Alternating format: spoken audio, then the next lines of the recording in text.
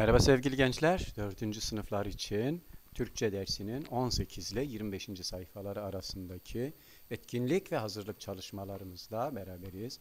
Konumuzun adı Asım'ın Nesli Kitap Dostudur. Evet, kanalımıza abone olmayı unutmuyorsunuz. Ayrıca bu videonun altında diğer tüm kitaplarınızın kitap çözümleri ve tüm derslerinizin yazılı soruları da var. Bu videonun altındaki link e, açıklama kısmındaki linke gittiğiniz zaman orada her şeyi bulabileceksiniz. Ödevlerinizi yapıp yazılarınızı orada hazırlanabilirsiniz. Evet, önce hazırlık çalışmalarımız var. Okumanın faydaları nelerdir diyor. Çok basit. Kendimizi daha iyi ifade ederiz değil mi? Okumanın faydalarından biri kendimizi daha iyi ifade ederiz. Okumak kelime haznemizi geliştirir ve bizi bilgi sahibi yapar, aydınlatır. Bunu yazmanız öğretmeninizi çok mutlu edecektir sevgili gençler. Tabii ki ben her zaman olduğu gibi biraz hızlı gideceğim. Siz videoyu durdurarak yazın ödevinizi peşimden yavaş yavaş gelin. İkinci sorumuz kitap okuma alışkanlığını geliştirmek için neler yapmalıyız diyor. Neler yapabilirsiniz? Öncelikle hoşumuza giden kitap tarzını belirlemeliyiz değil mi? Hoşumuza giden kitaplarla kitap okumaya daha iyi bir alışkanlık haline getirebiliriz. Boş zamanlarımızda kitap okuyabiliriz. Kitap bitirince kendimizi ödüllendirebiliriz. İşte bunları yaptığımız zaman kitap okuma alışkanlığımız bir nebze de olsa gelişebilir.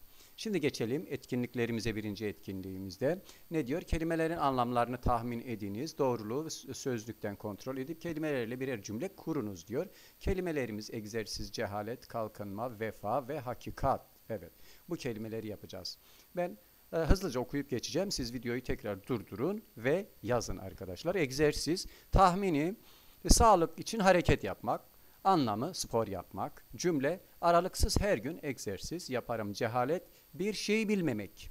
Anlamı bilgisizlik. Cümle cehalet olmaması için eğitim olmalıdır. Kalkınma kelimesi tahminim durumu düzelme aşamalı bir biçimde gelişme, ilerleme işi. Anlamı iyileşme. Bir cümlem Osmanlı Savaş zamanında kalkınmaya yönelik planlar yaptı. Vefa kelimesi tahmin iyiliği karşılıksız bırakmamak. Anlamı sevgiyi sürdürme. Cümlem Ceren çok vefalı bir insandır. Evet vefalı kelimesi de böyle. Aşağı iniyorum siz durduruyorsunuz videoyu. Hakikat doğru olan anlamı gerçek olan. Cümlem hakikati söyleyince kabul etti. Evet hakikati söyleyince herkes mecbur kabul edecek değil mi? Evet bu sayfamız bu etki birinci etkinliğimiz bu şekilde. Ben geçiyorum siz durdurup yazıyorsunuz. Ne diyor burada bu videonun altında dördüncü sınıfların tüm derslerinin kitap cevapları tüm yazılı sorularının bulunduğu link var. Açıklama kısmındaki linki tıkla yüzlük ol diyor. He, orada katıl düğmesi de var. Katıl düğmesine tıkladığın zaman arkadaşlar orada sohbet odalarına gidebilirsiniz. Ayrıca WhatsApp gruplarında paylaş. Arkadaşın ödevini, ödevini bitirsin. Hemen oyuna başlayınız. Arkadaşın ödevini bitirmezse paylaşmasan arkadaşın seninle oyun oynayamaz değil mi? İkinci etkinliğimiz. Soruları metne göre cevaplayınız. Evet metni okuduğunuz zaman soruların cevabı şu şekilde arkadaşlar. Beynin gıdası neymiş metne göre? Okumak imiş. Et, e, metne göre okumanın amacı nedir? Beynin olaylara farklı açılardan bakmasını sağlamak ve düşünceye sevk etmektir beyni değil mi? Amacı buymuş. Roman, hikaye, şiir, tiyatro gibi sanat metinlerinin öğretici metinlerden farkı nedir? Evet cevap. Her metnin bir anlamı vardır. Bu tür metinler kelimelerin gerçekten uzak yani mecazi anlamda kullanılır. Evet değil mi? Mecazi anlamda söz sanatları kullanılır. Biz buna ne diyoruz? Mecazi anlamda kullanılır diyoruz. Durdurdu. E, ikinci etkinlikte de durduruyorsunuz, yazıyorsunuz. Ben devam ediyorum arkadaşlar. Yok durmaz. E, sizle beraber durur isem video çok ama çok uzuyor. Üçüncü etkinlik. Yazarın okumayı bakış açısı değerlendirmeye yönelik soruları cevaplayınız. Evet, okumaya bakış açısını değerlendirmeye yönelik sorularını okuyunuz. Cevaplayınız diyor. Bakalım. Yazar bu metni kime yönelik olarak yazıyor? Zaten metinde var arkadaşlar. Okumayı önemseyenlere yönelik yazıyor. İki, yazarın metni yazma amacı nedir? Okumayı önemseyen kişilere okumanın önemini anlatmaya çalışıyor. Üç, metnin mesajı nedir? Okumak önemlidir. Okumayı önemsememiz gerekmektedir. Mesaj budur. 4. Bu metinde anlatılan günlük yaşamla ilişkisi nedir? Cevap. Olumlu sağlam düşünmek, sağlıklı karar vermek, selim bir kalbe sahip olmakla ilişkisi vardır. Bu metinde anlatılan günlük yaşamımızla ilişkisi budur arkadaşlar. Durdurun ve yazın. Dördüncü etkinliğimiz ne diyor burada arkadaşlar? Verilen bilgilere göre Asım'ın Nesli kitabı dostudur metni ile kitabın büyüsü metninin tür bakımında karşılaştırınız. Evet Asım'ın Nesli kitap dostudur.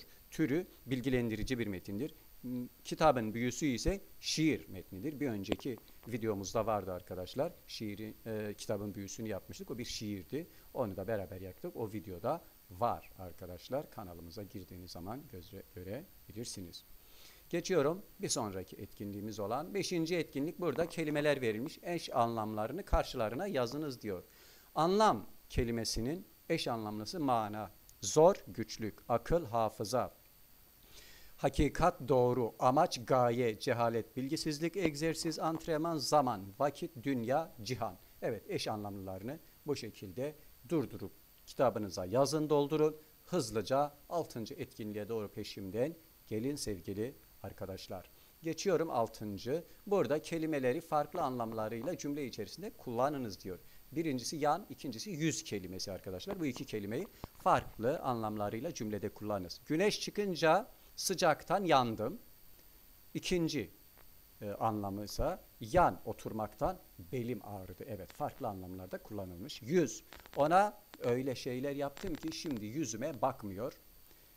İkinci yazılıdan yüz aldım. Aa, burada D harfi neden yazmışız?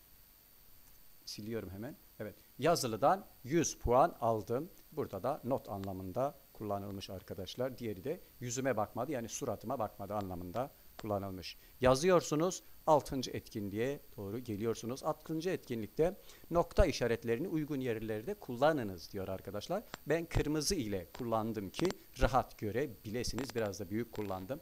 DR'den sonra ve okur kelimesinden sonra 5. kat 5'ten sonra ve cümlenin sonuna 9.30'da 9'dan sonra ve cümlenin sonuna 20.02.2019'da tarihlerin arasına ve cümlenin sonuna gördüğünüz gibi kırmızı noktalı işaretleri noktanın kullanıldığı yerlere belirtmişim. Sizler de ekranınızı biraz daha büyüterek daha, daha gerçi noktaları büyük yaptım ama ekranı biraz daha büyütebilir. Yazıyı büyütüp rahatlıkla görebilirsiniz.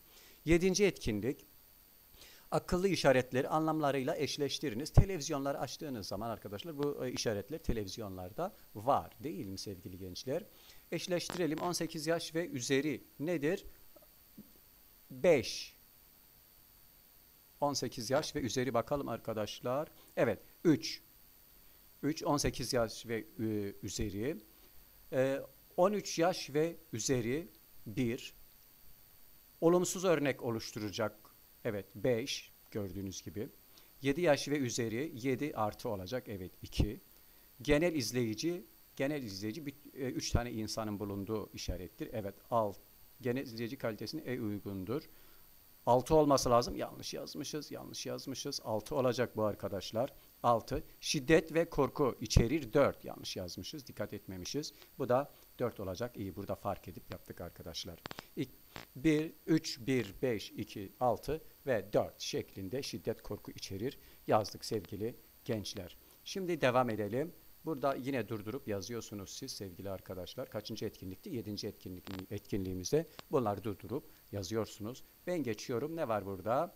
Sekizinci etkinlik Mehmet Akif Ersoy hakkında öğrendiklerinizi paylaşınız.